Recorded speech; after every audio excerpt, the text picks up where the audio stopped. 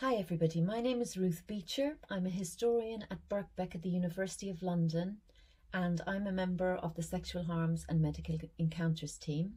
I'm really pleased to be here today and to be asked to speak and I hope that everyone is well and that we get to see each other face to face one day very soon. My talk today is about child sexual abuse. It's a it's a sensitive subject, it's a distressing issue um, there is a link on our website um, if you need advice and support.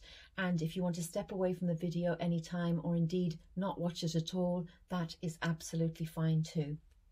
Um, I want to start my talk today um, a few years ago. In 2016, the Nursing Times publicised a guidance that had been published by the National Institute for Clinical Excellence in the UK and it highlighted the responsibility of school nurses and other members of the nursing profession to immediately inform their organisation's safeguarding lead when a young person's or a child's behaviour displayed um, it was sexualised and was not appropriate for their age. So the the article described um, particular signs of problems um, and you can see those on the slide. But it ended with a warning from John Brown from the National Society for the Prevention of Cruelty to Children. And he said that children and young people should not be treated as mini sex offenders. So, my aim today is to bring some historical context to a situation where nurses have to be cautioned against treating children and young people as mini sex offenders and to find out what the increasing attention to harmful sexual behaviour over the last three or four decades tells us not only about the relationship of medical and psychiatric um, attitudes to children and the surveillance of children and families, but also how those relationships intersect with gender, with ability and disability, and with class. Historians have, of course, written about changing terminology. Lucy Delap found a range of terms used in Britain in the early 20th century, for example, molesting, tampering, flashing, fondling, and ill usage. Um, Carol Smart, sociologist, noted that it could be called unlawful carnal knowledge, incest, criminal assault, indecent assault, an outrage, an unnatural act, a slip, and so on. In fact, as Smart pointed out, it wasn't until the 1970s that the thing that we now call child sexual abuse was fully constituted as a behaviour. Now, since that time, there has been recognition that this sort of behaviour was not only inflicted on children, but could also be inflicted by children themselves. When the 1980s um, waves of awareness of sexual abuse hit medics and psychiatrists, the fact that a significant proportion of these um, incidents, assaults, were carried out by children and young people was known. But it has not been much discussed amongst uh, children's health practitioners until recently. It can be argued that Looking away from children's harmful sexual behaviour is part of a wider tendency for the public and practitioners to look away from child sexual abuse. But it has also to do with a fear of child sexuality. Stephen Angelides pointed to this in 2019. He wrote that when the boundaries between childhood innocence or innocent eroticism and adult sexuality are blurred or overlap, or when adult sexuality or sexual frameworks are thought to be prematurely imposed on children, usually grave concerns and anxieties about their well being are voiced. And the frequent changes in language, um, the designations um, used to describe children and young people who molested other minors give a sense of the discomfort of the medics assessing, treating, and researching them. I won't read you out the list, but you can see it here on this slide. And as you can see from the 1990s, the emphasis shifted from categorizing the aberrant child to categorizing a deviant set of behaviors. So we can see too a growing discomfort with the idea of labelling and criminalising the developing child and young person. Today, I really only have time to talk about one aspect of this, and I want to uh, examine why health practitioners in 2016 have to be urged to cast aside the trope of the mini sex offender.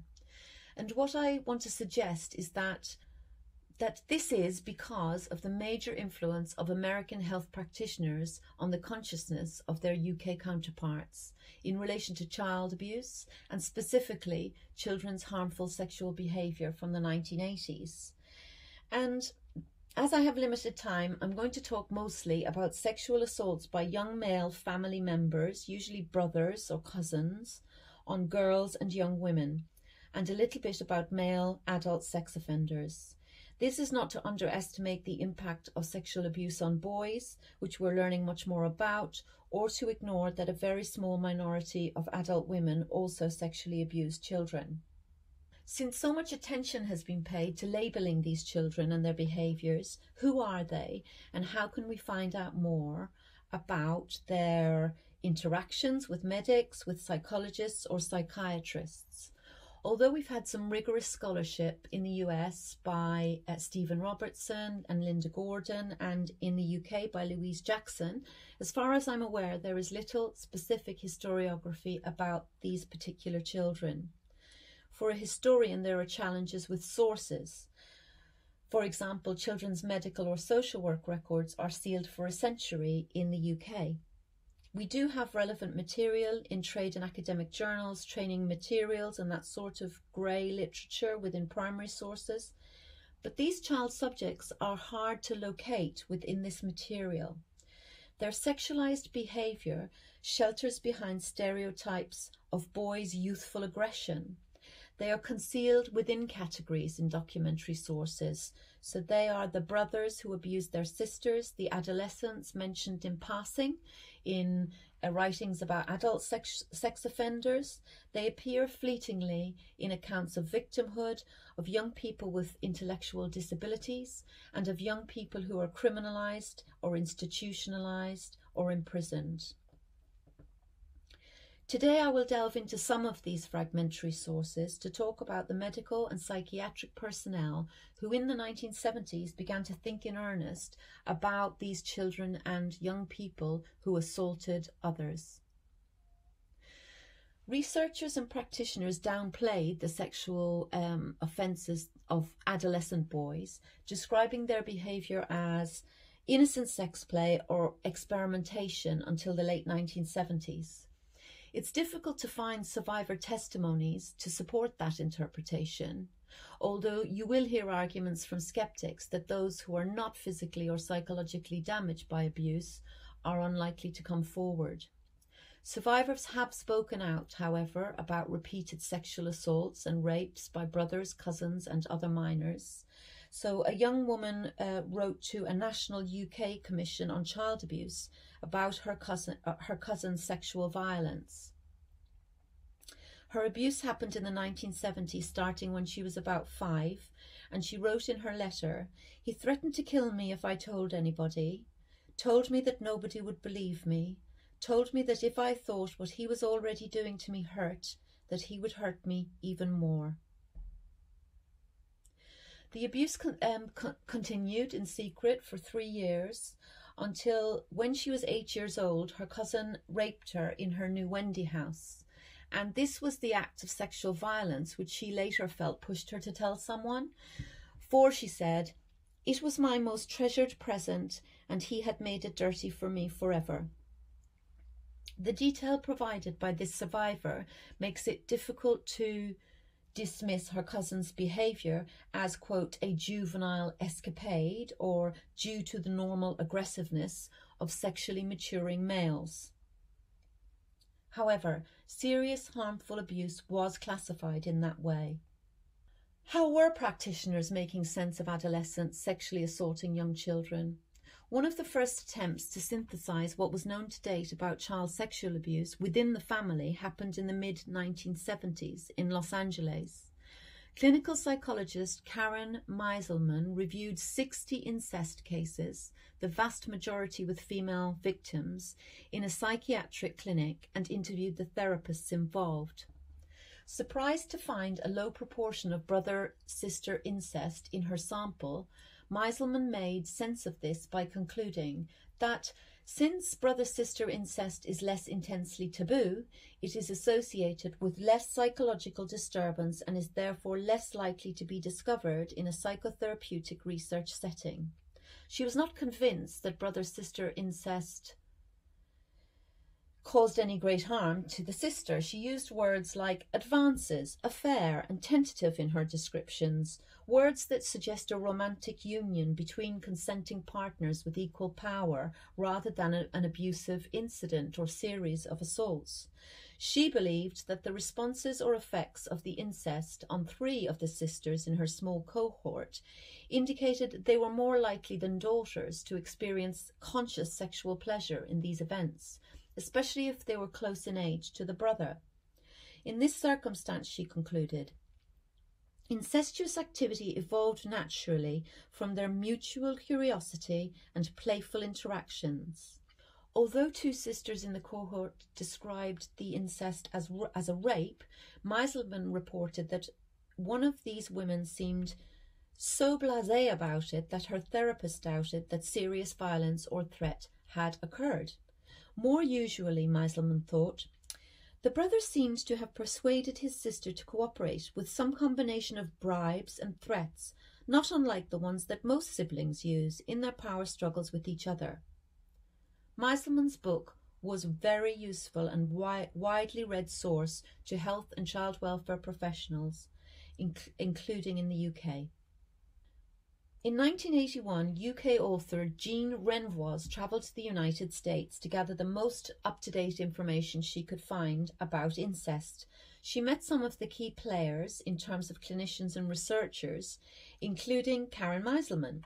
Although largely forgotten today, Renvoize had published fiction before developing an interest in child abuse. Um, she was an early member of the British Association for the Prevention and Study of Child Abuse and Neglect, alongside vanguard UK psychiatrists and paediatricians. The book she was researching in America would become Incest, a Family Pattern, and it followed Meiselman very closely in its claims.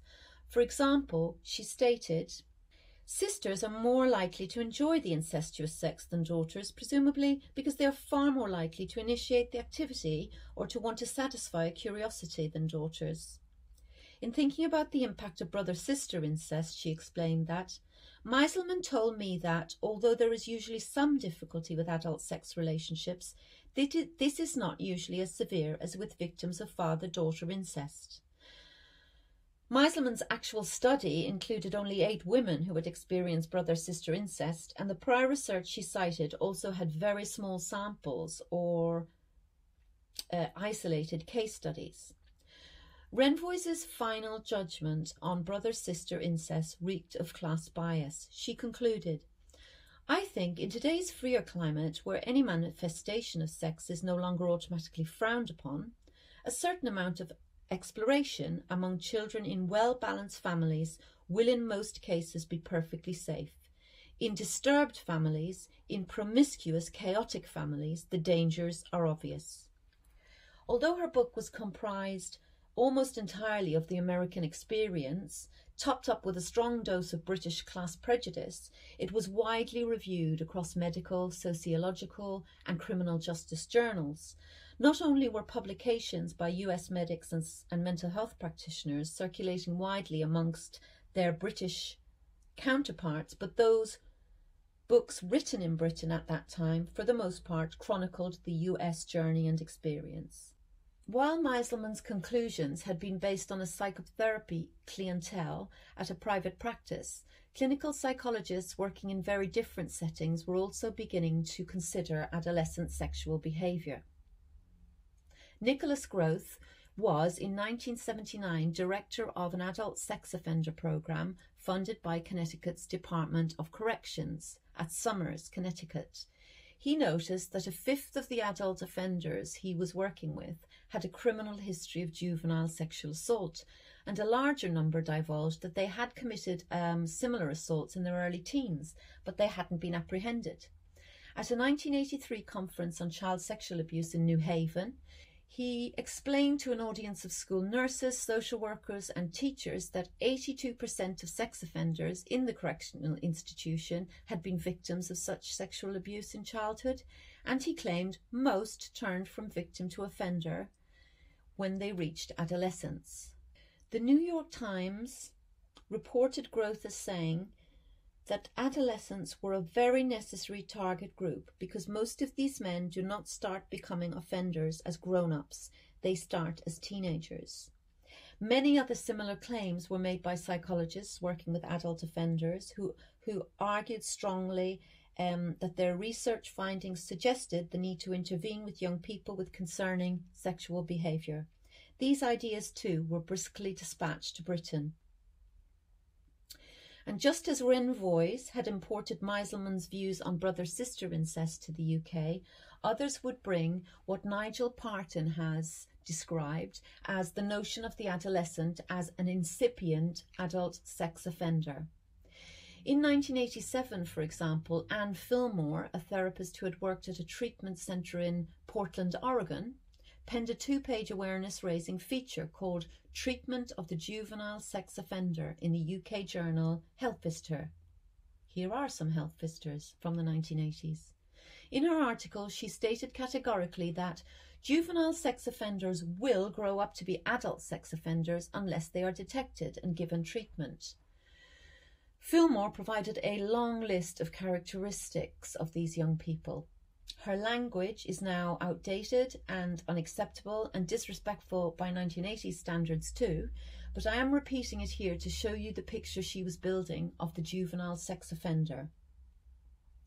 Learning disabled, mentally retarded, an FLK, which in our parlance means a funny looking kid, dysmorphic, overweight, hyperactive, her comments reflected broader myths about people with intellectual disabilities, including the perception that left unchecked, their sexuality would become rampant and lead to sex offending. In another part of her article, she notes the only single underlying factor in all juvenile sex offenders is their total lack of empathy for their victims. Her language throughout suggests that these young people were dangerous predators.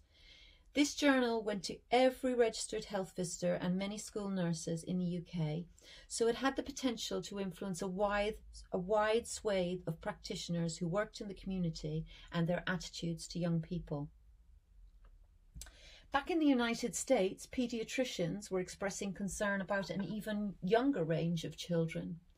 For example, Hendrika B. Cantwell, a paediatrician working alongside Denver Social Services, reported that their sexual abuse team was by 1985 identifying three to four cases of um, children, child perpetrators below the age of 10. Cantwell worried that these might contribute to a potential reservoir of adolescent and adult perpetrators she demanded careful surveillance by children's caretakers um, of sexual play to ascertain whether it was abusive and potentially transmissible to other children. These ideas, the reservoir of perpetrators spreading sexual behaviours like a contagion, an infectious agent, from one child to another, call up older notions about sexually deviant children and how they might affect or infect others, especially in group settings. While paediatricians tried to work out what was normal child sexual activity and what was dangerous and might be contaminating, treatment programs in the US rapidly expanded from 22 in 1982 to 500 only five years later. These were based on models developed for the treatment of adult sex offenders. And I wish I had time to talk about the ethics of the use of aversive conditioning on children and young people, but alas, today I can't, I don't. But as psychologist Frank DiCataldo has pointed out, in the United States, adolescents involved in sexual misconduct were, by the early 2000s, perceived as requiring exclusionary legal and mental health treatment, confinement, assessment, intervention, community surveillance, and seen as budding sexual menaces in need of careful surveillance and control. Now, context, po- politics, and circumstances are dif- different in the United Kingdom, and responses to harmful sexual behaviour have not unfolded in an identical fashion. The influential research of Groth and others that worked backwards from adult sex offenders in custody to all children and young people as potential sex offenders has been discredited. But the fact that the NSPCC had to issue a warning to UK nurses that children should not be treated like mini sex offenders suggests the pervasive influence of US medicine and psychiatry and an immensely profitable treatment sector on practitioners' thinking about these children and young people. When I read the Nursing Times article on the harmful sexual behaviour guidance, I found it curious that its author omitted the very next sentence of the clinical guidance. Immediately inform your organisation's named safeguarding lead when a child or young person displays sexualized behavior that is always inappropriate, regardless of age, such as public masturbation. Anyone who's worked um, as a community nurse, as a health visitor, or in a health centre or nursery, or observed children in any real world setting will know that children, young children, often go through a stage of exploring their genitals or touching them for comfort. Compulsive masturbation is one of the alerting signs for sexual abuse and harmful behaviour rather than any public masturbation. How useful is it to draw a quote publicly masturbating five year old end quote into the same orbit as the boy described above who sexually assaulted his cousin repeatedly over three years under procedures for harmful sexual behaviour. Perhaps this is why Nursing Times did not include this specific directive. However, the article did not voice any concerns about the consequences of pathologizing a very wide range of sexual behaviors or whether it was a sound decision to ask practitioners to draw children and families into complex bureaucratic procedures rather than use their experience and judgment to respond in the wake of multiple inquiries and statutory guidance that focuses practitioners' time on procedure and process rather than building trusting relationships with children, one could ask who is being protected by such guidance, children or institutions. Meanwhile, disclosure rates and prosecution rates remain low. The most serious and prolonged sexual abuse of children by more powerful males continues behind the closed door of the family home. Thank you so much for listening.